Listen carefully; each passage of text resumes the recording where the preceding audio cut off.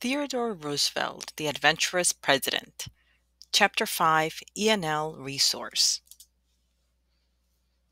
Page 22. Photograph. Caption Teddy was an expert horseback rider. His skills would come in handy. Page 23. Photograph. Caption In 1898, Teddy got ready to head for Cuba. There, he led the Rough Riders. Map. Cuba. Page 22. Chapter 5 Teddy and the Rough Riders.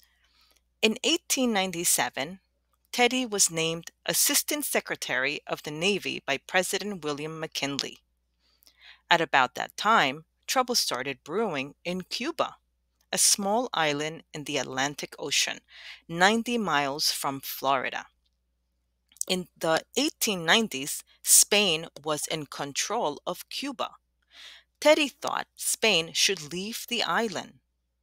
He wanted the U.S. to be the only powerful nation in this part of the world. Most Cubans wanted Spain to leave too. Some Cubans joined together to try to kick Spain out. President McKinley tried to avoid war, but Teddy was eager for it. Why? He thought war would make Americans strong. He probably had another reason, too. Teddy felt bad that his father had not fought in the Civil War. He wanted to make up for that fact and honor his family. And he didn't want to miss out on what he thought would be a great adventure.